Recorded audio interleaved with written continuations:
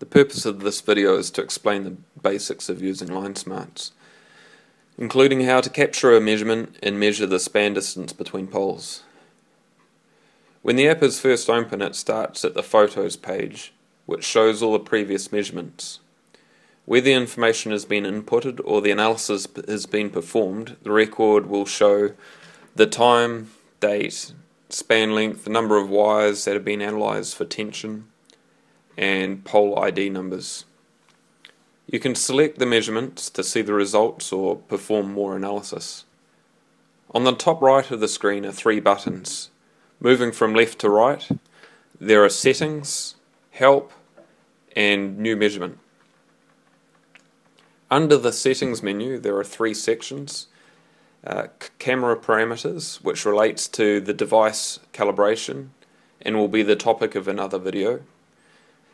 Conductor parameters, which allow users to add their own conductor types to those available for calculating tension, again uh, the topic of another video. And then there is the reporting section which allows users with the full version of LineSmarts to save and email full resolution images if they so choose. Uh, selecting the button on the uh, top left takes you back. So we will select it twice here to get back to the photos page. Next on the top right is a help icon. Most pages in LineSmarts has one of these.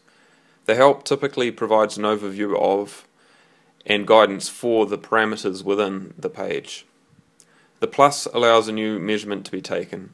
Once selected, the user holds their device so the writing on the screen is at the bottom and taps the screen to capture an image of the span or the structure they'd like to measure. The image is then opened in the span info page.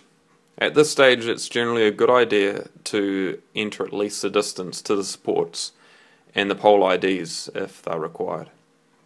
Once that data is collected, other measurements can be captured and the user can come back to those records later to perform further analysis. When entering the range or distance to the poles, the user needs to consider the type of measurement they're taking. Some laser rangefinders have a built-in inclinometer, which allows the horizontal component of the actual distance to be recorded.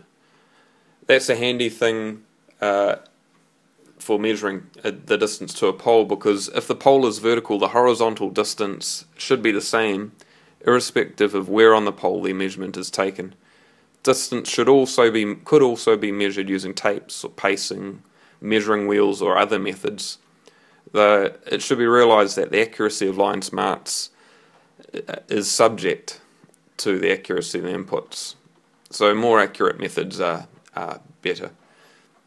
If a laser with an inclinometer is not used and the measurement is inclined, so on a slope, the horizontal range input checkbox should be unchecked and care should be taken then to identify the specific point on the pole that the distance measurement was taken to.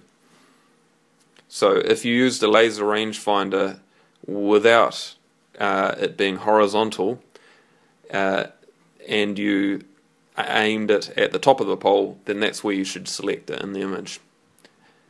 Uh, to complete the span measurement, select the locate supports button and that takes you to that image inside you can identify the pole locations.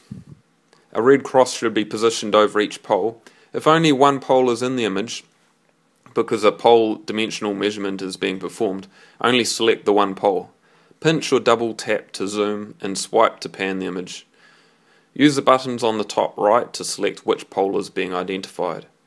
When all the required supports have been identified, select the button on the top left to return to the span info page.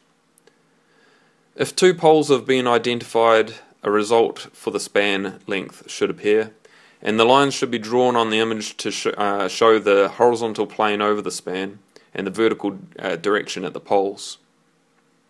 If we look at the top right of the screen, uh, there's a bin that and that can be used to delete the record, and that deletes the whole record from LineSmarts. The next button beside it is the export button, which can be used to either email a report of the analysis results or save it to the device hard drive.